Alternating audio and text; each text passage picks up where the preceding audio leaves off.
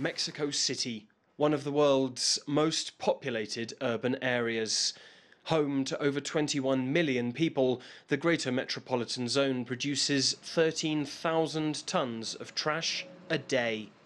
While a culture of recycling and trash separation is growing, there's one piece of waste that still litters the streets cigarette butts. According to government statistics, nearly 15 million adult Mexicans are smokers, and per capita, users smoke more than two and a half packs of cigarettes a month.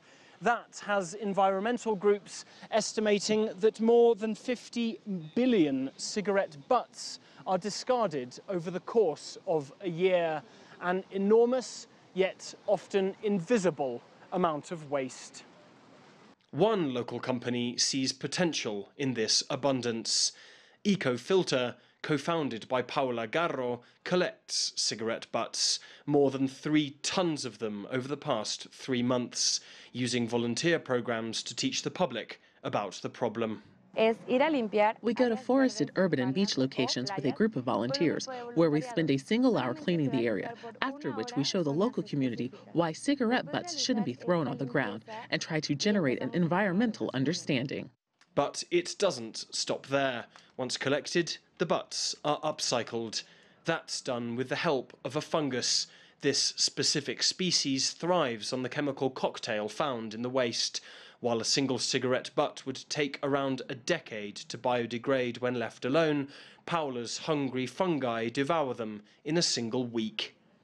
Once mulched, the material is transformed into paper, plant pots, and even jewellery, which the company shows off at environmental seminars held at universities across the country. Why do we focus on universities? It's because we know that the future depends on our young people, on our kids. If they are aware of the issues around recycling and disposal, it's going to be easier for the next generations to understand the environmental awareness that our planet is screaming out for. Chuen Uac is an environmentalist and says when it comes to changing people's environmental habits, it's about showing them the bigger picture. I think the most important thing is for people to start making these changes in themselves and set an example for those around them, because there's still not much awareness of cause and effect here. If we can't understand the effects of our actions, then we'll never change. As EcoFilter grows, it hopes that with each recycled cigarette butt, it leaves behind a little lesson in environmental consciousness, which will echo into the future. Alasdair Baverstock, CGTN, Mexico City.